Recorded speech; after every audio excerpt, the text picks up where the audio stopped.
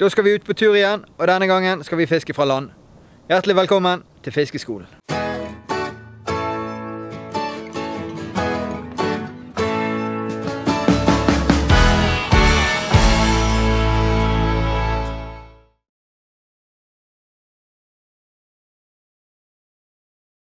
Kystmeite er fellesbetegnelsen på det å fiske med naturlig agn fra land. Når en kystmeter er på grunt vann, er en gjerne på jakt etter typiske matfisker som torsk, hyse, hvitting og diverse flyndrearter. Det som likevel gjør dette fisket ekstra spennende, er at en aldri kan være helt sikker på hva som faktisk kommer til å bite på. Når vi nå skal ut og kystmeite, så bruker vi 12 fot lange 3 punts Mad Greyline-stenger fra Dam, i kombinasjon med Dam Quick 5 SLS 7000 FS-sneller. Disse er utstyrt med en egen baitrunner-funksjon som gjør at du kan frikoble spolen, sånn at fisken kan ta med seg agnet uten å merke motstand. Snellene er fylt opp med 0,23 Compact 4 braid fra låsen. Før en går i gang med selve fisket, er det viktig å utstyre snellen med en god fortom. Denne kan gjerne være 4-5 meter. Her som vi skal fiske i dag, så kjører vi låsen Powerflex 050.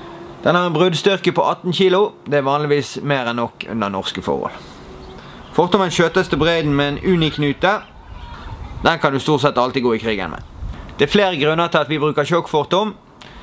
En av de er at den skåner fingrene dine under kast med relativt tunge lodd. En annen er at den er mye mer slitesterk enn breiden når det kommer til skraping opp etter svaberg og den slags. Og akkurat dette blir ofte en utfordring når en fisker fra land. Her som vi fisker i dag, så er tjokkfortommen også faktisk en del av selve takket. I dag skal vi nemlig fiske glidende og da gjør vi ting så enkelt som mulig. I enden av sjokkfortommen trer vi først inn på en 6 mm plastikkperle fra Søvik. Så trer vi inn på en liten glidebom, i dette tilfellet en Søvik Duolock med klipp. Et annet godt alternativ er de små metallglidebommene fra Ona. Etter dette trer vi på nok en plastikkperle. Når disse tre elementene er tredd inn på sjokkfortommen, fester vi en Søvik krensvivel i enden av den. Her bruker vi en grinnernott. Når svivelen er festet, trekker vi ut ca. 35 cm med kraftigere mono. Dette her blir selve bitefortommen. Vi bruker 0,70 Prey Soft Leader. Det har en bruddstyrke på 25 kg, og det holder stort sett det meste som vi kan møte på her inne. Inn på selve bitefortommen trer vi nedre delen av en Søvik Lightsleeve. Og i enden fester vi en Owner SSV krok i størrelse 1.0 eller 2.0. I glidebommen fester en et blylodd. Vi bruker 100 grams pæresøkker fra låsen. Det ferdige takkelet blir da seende ut sånn som dette her. Dette fungerer da sånn at en kaster ut og strammer opp. Og når en fisk kommer forbi og finner agnet, så kan en ta det med seg og dra det på hele sjokkfortommen uten å kjenne motstand. Dermed kan en selv avgjøre hvor en vil sitte tilslag. Kroken kan en egne med hva en vil, men små fiskebiter, reker, skjell eller diverse makk det pleier å funke veldig bra. For at agnet skal sitte ekstra godt på kroken, så surrer vi det også med elastisk surretråd fra Innova.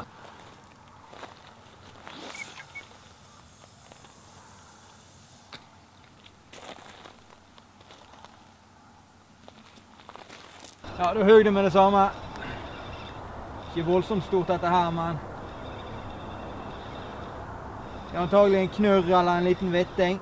Eh, sånne typiske fangster ute på sandbøen. Da ble det en knurr. Veldig stilig fisk med spisse finner. Passer det litt for den her. Den er ikke giftig, men den er ikke god å stikke seg på. Veldig vanlig fisk ute på sandbøen og litt finere sedimenter. Og en veldig god matfisk, men den her er litt liten, så den eh, lar vi gå. Nå har det vært litt napping på, stangen på stanga her. Kjennes det ut som en liten flundre eller et eller annet som har tatt agnet. Det er litt av sandflyndre. Ikke den største, men uh, fisken er her, så da er vi i gang. Da ble det nok en knurr. Denne tok en liten makrellstrimmel på ca. 15 meters dyp. Disse her er tallrike ute på sandbunnen, så disse blir det fort en del av når en driver med kystmeite.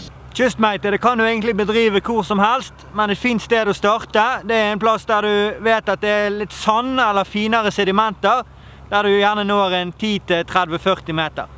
På sånne plasser så er det veldig ofte mye forskjellige fiskearter. Ofte er det en del småfisk, men der det er småfisk, der er det òg stor fisk. Og Da gjelder det selvfølgelig å ha et agn der. Nå var den opp igjen. Kjennes ut som det kan være en litt større fisk, dette her. Ikke helt det vi var på jakt etter, men en liten torsk.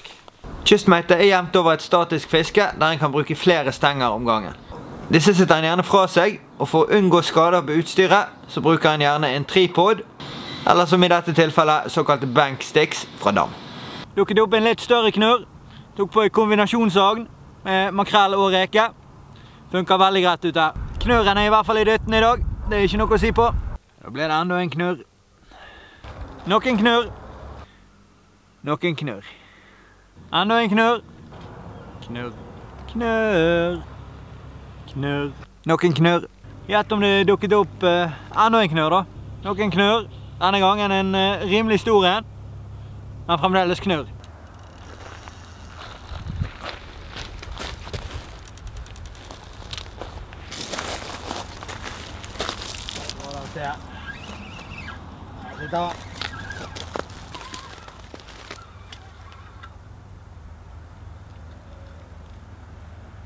Det var en liten torsk.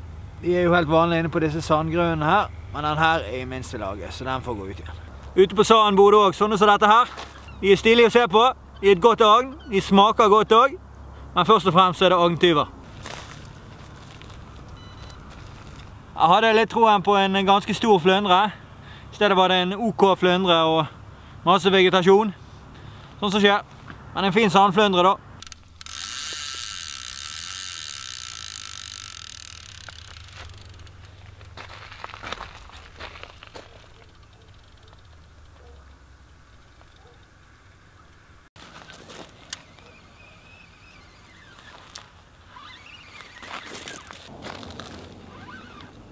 Dette her er en ganske mye bedre fisk. Skal vi se hva det er som kommer.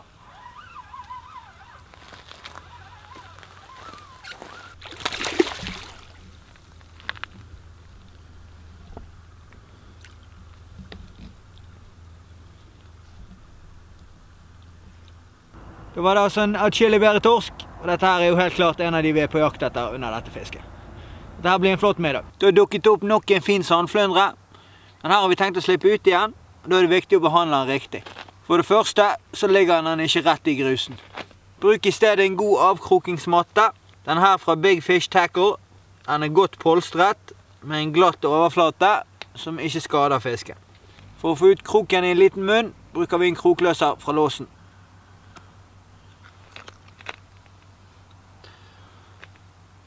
Enkelt og greit. Denne avkrokingsmaten har òg meterstokk. Denne fisken måler vi kjapt til 33 cm. Oi, oi, oi. Ei flott lita sypike. Ja, den var fin.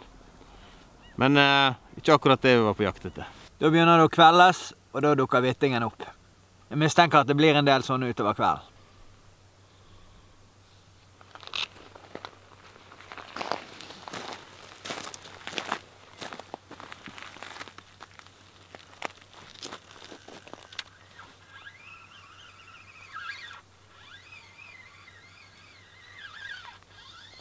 De var ikke gode til å lage seg alle sammen. Nok en knurr. Så er det nok en småhvitting. Drar det rimelig greit av gårde her. Vi prøver oss.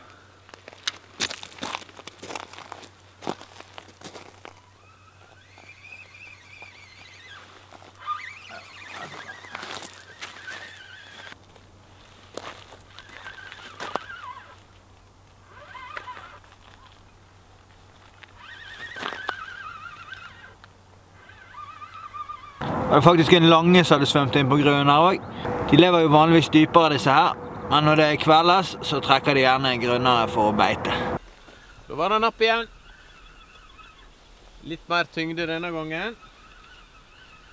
Så får vi se hvilken fisk dette her kan være. Det er mye forskjellig det kan være nå. Det begynner å bli litt mørkt. Skal vi se hva det er. Det var ei ganske fin hyse. En eh, fisk vi ikke har fått før i dag, så det er alltid eh, kjekt med en ny art. Flott matfisk. Da har mørket senket seg, og knurren har sluttet å bite. I stedet har uh, hvittingen tatt over. Dette er jo veldig fin matfisk. Kalles havets kylling, og det er ikke uten grunn.